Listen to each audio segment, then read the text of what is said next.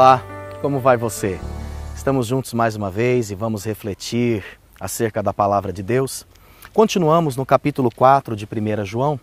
Os versos 9 e 10 nos falam do amor de Deus por meio do Filho. Como é o amor de Deus estampado na figura, na vida, na obra e no ministério de Jesus? Nós só podemos entender o amor de Jesus quando entendemos duas palavras muito fortes que aparecem nesses textos: unigênito e propiciação. A Bíblia diz que Jesus ele é o filho unigênito, mas é também o primogênito, o primeiro.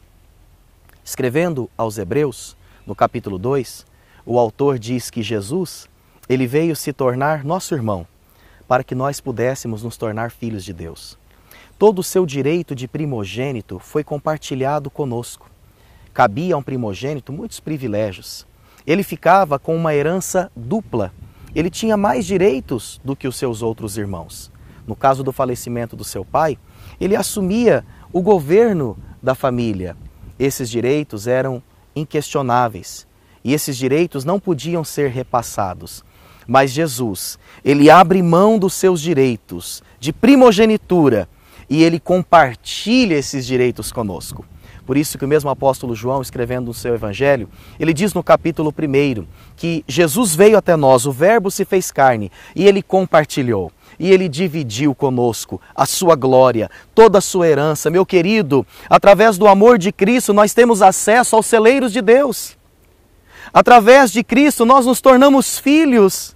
Ele veio tornar-se nosso irmão para que pudéssemos também chamar a Deus de Pai.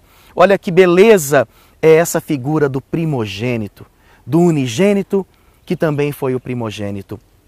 O amor de Cristo pode ser entendido por meio da palavra propiciação. Havia no antigo tabernáculo e também no templo em Jerusalém o Santo dos Santos, dentro dele só podia entrar o sacerdote e ali estava a Arca da Aliança.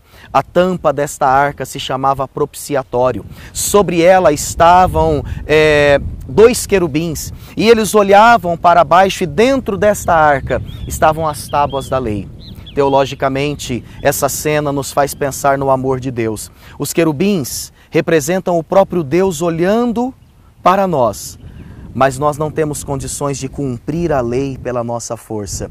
Mas o sangue aspergido na tampa da arca da aliança, do propiciatório, nos ensina que Deus sempre nos vê por meio do sangue.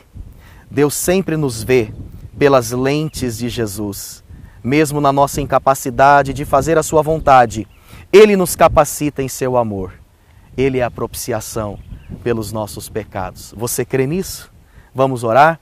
Obrigado, Deus, pelo teu amor. Obrigado porque o Senhor compartilhou conosco toda a herança da sua primogenitura. Obrigado porque tu és a propiciação pelos nossos pecados. Te adoramos e oramos em Cristo. Amém. Deus te abençoe.